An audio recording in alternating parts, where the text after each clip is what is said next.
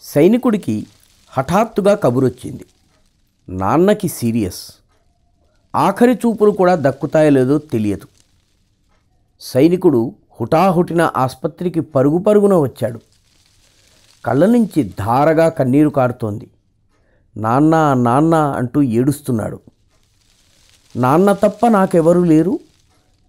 నాన్నకు నేను తప్ప ఎవరూ లేరు? ఈ ఆలోచనే మరింత దుఃఖాన్ని కలిగించింది. ఆసుపత్రిలో హడావిడిగా ఉన్న నర్సు అదిగో మీ నాన్న అంటూ హడావిడిగా వెళ్ళిపోయింది. దుఃఖంలో ఉన్న సైనికుడు తన తండ్రిని కాక ఇంకో రోగిని చూశాడు. కన్నీళ్ళతో తండ్రి స్పష్టంగా కనపడలేదు. ఆ తండ్రి చేతిని తన చేతుల్లో తీసుకుని నేను వచ్చేశాను నాన్న నేను వచ్చేశాను. ట్యూబులు వెంటిలేటర్లు సూదులు సలైన్ల మధ్య మగతగా ఉన్న ఆ తండ్రి కన్ను తెరవలేకపోయాడు.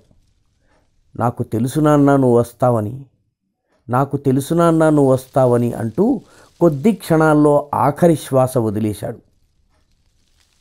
నాన్న నాన్న అంటూ ఆ సైనికుడు కళ్ళు తుడుచుకుని ఆ తండ్రిని తేరిపార చూశాడు.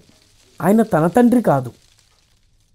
అంతలో ఒక నర్సు వచ్చింది భలేవాడివే ఈయన మీ నాన్న కాదు. అదిగో ఆయన మీ నాన్న. అంది.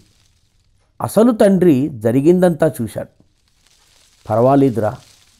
ఆఖరి క్షణాల్లో ఒక తండ్రికి ఊరటనిచ్చావు.